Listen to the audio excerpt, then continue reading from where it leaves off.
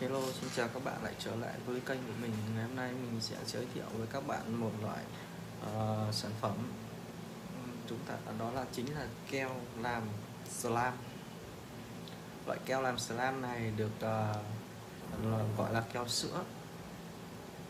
Đấy, cái, cái loại keo sữa này uh, sử dụng để không chỉ là làm slam này, mà còn nó còn sự có thể dùng trong các cái ngành công nghiệp gỗ đấy uh, dán gỗ.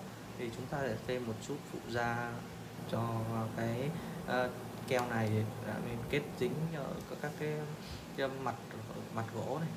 Đấy, để gắn kết lại với nhau một cách chắc chắn. Đấy.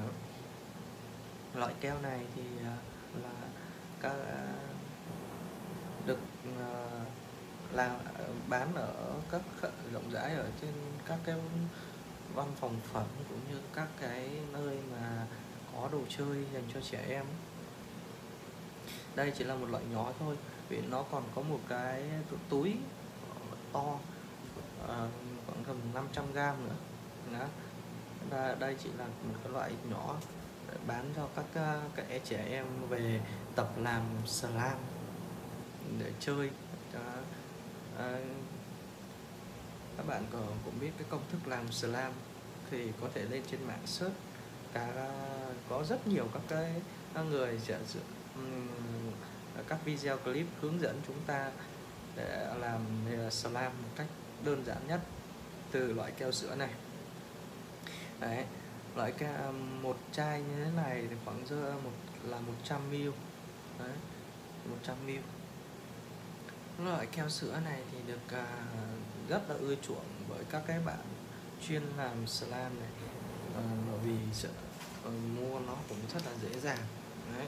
còn các à, bác À, còn à, nếu mà chúng ta muốn sử dụng nhiều hơn thì chúng ta sẽ nên nên mua một cái bịch to hơn. Cái bịch to 500 gram ấy. À, nó sẽ tiết kiệm hơn cho các bạn rất là nhiều. Đấy. Thì chúng ta mình nói sơ qua một phần là về cái cách làm slam nhá.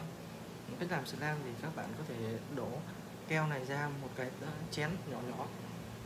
Sau đấy các bạn ờ, cho một chút nước vào khuấy đều. Đấy, khuấy đều cho nó ờ, nước và keo này hòa tan lại với nhau. Đấy à, sau đó chúng ta có thể cho thêm một chút borax vào. Borax là cái chất làm đông đấy, đấy để tạo ra cho cái này của cái cái sản phẩm này của chúng ta Ờ, bỏ một chút thôi nha ờ, một chút borax vào cho nó làm đông lại cái, cái đấy và và chống dính à, khi mà chúng ta nhào quấy đều cái borax và cái keo là keo sữa đã có pha thêm một chút nước rồi thì nó sẽ dính dính và tạo ra một cái slam cho cho mọi người chơi một cách ta chơi thoại uh, làm slam cho mọi người chơi đấy. Đấy. Đấy, cách làm slam cũng rất là đơn giản như thế thôi. Các bạn chỉ cần có đủ nguyên liệu à, như là keo này. Ờ, nếu mà không có keo sữa thì chúng ta có thể dùng các keo trong cũng có thể làm slam trong được à, slam nước trong được. Đấy. Còn cái keo sữa này thì chúng ta có thể thêm một chút màu nữa. Thì à, khi mà chúng ta nhào vào thì nó sẽ tạo ra các màu rất là đẹp. Đấy. là chơi rất là thích ở keo sữa này thì ờ, có một ờ, nó cũng có thể sử dụng để dán lại các cái loại giấy Đấy, dán giấy dán uh, gỗ. Dán gỗ nhưng mà khi mà chúng ta dán gỗ thì chúng ta phải cho thêm một chút là uh, phụ gia khác nữa để cho nó được dính một cách chắc chắn. Cái này có một cái nhược điểm của nó là thời gian khô của nó lâu hơn so với các loại keo nước bình thường nên là nhưng mà nó lại cũng dán rất là chắc chắn nhá, dán chắc cực kỳ luôn. Các bạn cứ mua về thử ờ, với cái công thức mà tớ vừa à, mình vừa mới nói ấy. Công thức mình vừa mới nói ấy, thì ờ, các bạn cũng có thể về là thử làm slam cho bản thân mình xem như thế nào nhé cảm ơn các bạn đã chú ý lắng nghe về, về ừ, sản phẩm này uh, hy vọng các bạn sẽ có một cái trải nghiệm thật là thú vị với uh, cả công thức làm slam. Xin chào và hẹn gặp lại các bạn ở những cái video clip sau.